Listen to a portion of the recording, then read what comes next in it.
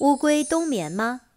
乌龟每年都会冬眠，温度低于十五度时就会有冬眠的迹象。其冬眠时间在秋末春初，大概在十月底到四月初。在冬眠之前，它们会有频繁掠食的情况，这是在为自己的冬眠做准备。所以在乌龟有冬眠迹象之前，我们需要增加喂食量，并且饲喂蛋白质含量高的食物，如小鱼干、小虾、瘦肉等，改为每日两次，帮助它储存足够的脂肪越冬。